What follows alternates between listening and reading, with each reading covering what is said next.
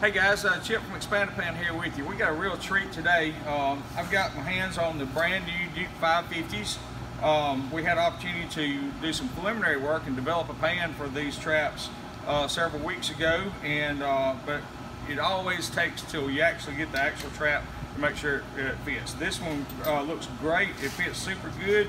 Um, had a friend of mine, Mr. Curtis Atkins, had actually picked up a dozen of these yesterday, I think, and brought them by and allowed us to uh, to uh, weld some 550s on here. So I thought we'd do a quick tutorial. This is the 12th of the of the uh, dozen that I'm welding on, so I wish I could show you the lineup. But basically, very similar to our other products, we leave you four inspection holes right here in the pan. I have not welded these top two. The camera can probably zoom in and see these little bitty divots that uh, that I'm pointing to. That's on the original pan.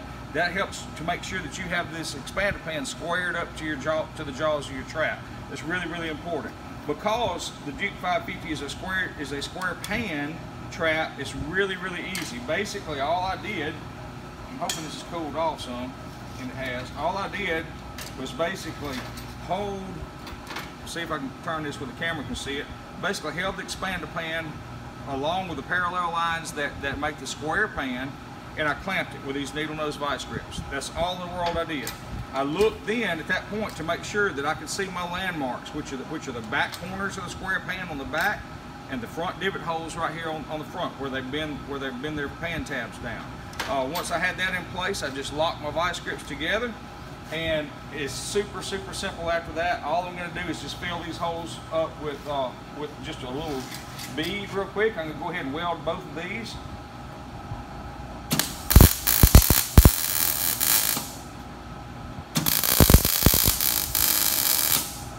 Guys, at that point right there, I left a little bit of hole right here on one.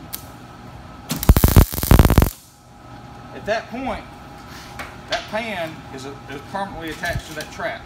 Now, because we do use these to catch coyotes and all kind of critters, and uh, we're out here in the real world, uh, I like to go ahead and a little bit better secure them. I think that's probably good, but on every one of mine, I turn it upside down. Notice this trap is closed.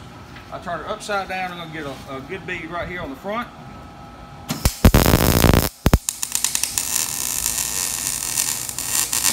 That's all it takes right there. And I'm to turn around the back two corners. It's a little bit tricky getting in here, but it's no problem.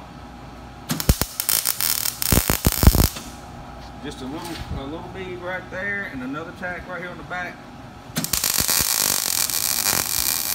Now I've got that pan welded top, bottom, left, right, all the way around, that, that pan is not gonna come off, ever. It's a really, really good solid trap. Here's some guys that we've uh, that we've already welded up. I think this completes the dozen right there. And let me grab one that's not quite so hot. And I'll, uh, I'll set it real quick for you. And we'll show you what they look like. We probably should have taken the welding glove off to do that. Even though I didn't get the dog on straight right there. But that's what they look like installed. Guys, uh, Duke 550s, uh, it's going to be a good solid trap. Uh, I look for those to probably become extremely popular.